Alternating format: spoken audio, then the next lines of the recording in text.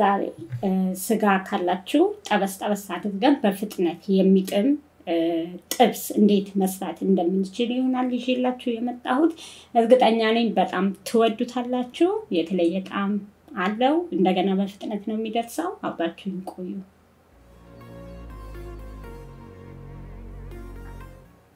እንደምታዩት መጥበሻ አግያለሁ እዚህ ጋር። ከዛ ይበቃኛል ብዬ የማስበውን ያህል ዘይት እጨምራለሁ። ከዛ በኋላ የተፈጨ አንድ የሻይ ማንኪያ የሚሆን ነጭ ሽንኩርት ነው ያደረኩት። ልክ ግሎ ስለነበረ ያው ነጭ ሽንኩርቱ እንዳይቃጠልብኝ ከትፌ ያዘጋጀሁት የበሬ ስጋ ነበረ። እሱን ቶሎ ብዬ እጨምራለሁ። እዚህ ጋር መጠንቀቅ አለባችሁ፣ ምክንያቱም ዘይቱ ሲግል ያው ነጭ ሽንኩርቱ እሳት ላይ በጣም ካቆያችሁት ይቃጠላል እና የምትፈልጉትን ያህል ጣዕም ላታገኙበት ትችላላችሁ። ስለዚህ እዚህ ላይ ጥንቃቄ አድርጎ እንደምታዩት ስጋውን ጨምሬያለሁ። ከዛ ምንድነው የጨመርኩት አሁን የጥብስ መጥበሻ ፓውደር፣ የተፈጨ የጥብስ መጥበሻ ቅጠልና ከዛ ትንሽዬ ኮረሪማ ነው ያደረኩት።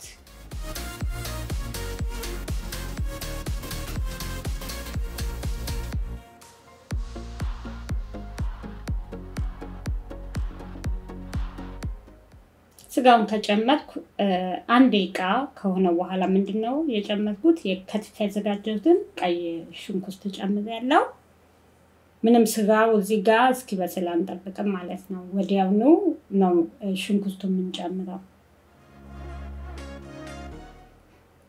የጥብስ መጥበሻ ቅጠል ፓውደሩን መጀመሪያ ላይ ስጠብሱ ጀምሮ ብጨምሩበት እውነቴን ነው የምላችሁ የተለየ ልዩ ጣዕም ነው የምታገኙት። ያ መጨረሻ ላይ መጨመራችን አይቀርም፣ ግን ያው ቅጠሉን እንጨምራለን አይደል? የጥብስ መጥበሻ ቅጠል መጨረሻ ላይ። ግን መጀመሪያ ላይ ደግሞ ፓውደሩ ካላችሁ እንደዛ አድርጋችሁ አዘጋጁት። በጣም ልዩ የሆነ ጣዕም ነው የሚያመጣው።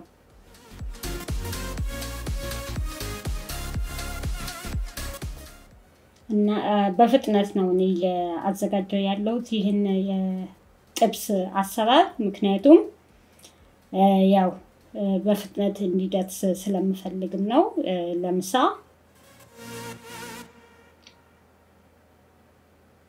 እና ሽንኩርቱን ከጨመርኩ ከሁለት ደቂቃ በኋላ ይበስላል።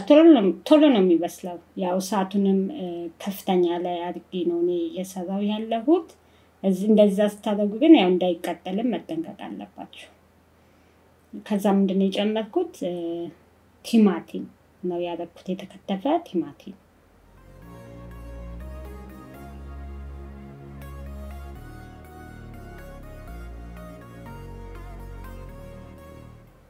ቲማቲሙን ካረጋችሁ በኋላም እንደዚህ ለሁለት ደቂቃ ለሚሆን ጊዜ ጠበስ ጠበስ ታደርጉታላችሁ። ያው እንደምታዩት ውሃ ነገር ትንሽዬ ውሃ አለው። እኔ ምንም ውሃ አልጨመርኩም። የራሱ ውሃ ነው ማለት ነው።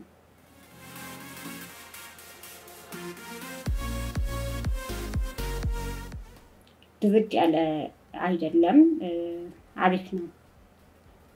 ጨው ጨምሬያለሁ አሁን እና አንዳንድ ጮማ አለው ስጋው፣ እንደዛ ስለፈለግኩት ነው እኔ ካልፈለጋችሁ ግን ቀይ ስጋ ብቻ መጠቀም ትችላላችሁ።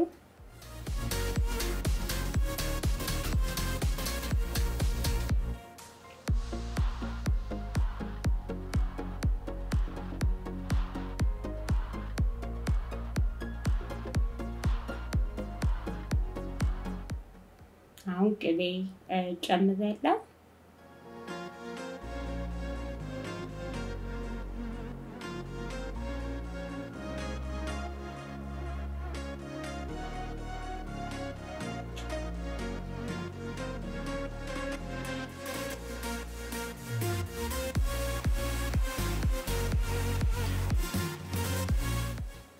ያው በዚህ ሰዓት ላይ እሳቱን አጥፍቼዋለሁ። ቃሪያ ጨምሬያለሁ።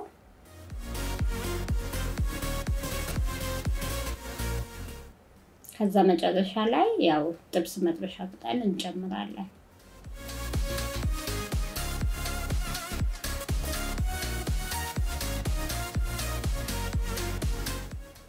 እና በቃ በጣም ምርጥ የሆነ ፈጣን አዘገጃጀት ነው። ከሰባት እስከ አስር ደቂቃ ይበቃቸዋል ይህን ለማዘጋጀት። እንደገና ደግሞ ጣዕሙ እውነቴን ነው የምላችሁ በጣም ነው የምትወዱት እና ደጋግማችሁ የምትሰሩት አይነት የምግብ አይነት ነው። እንደገና ጊዜ አይወስድም።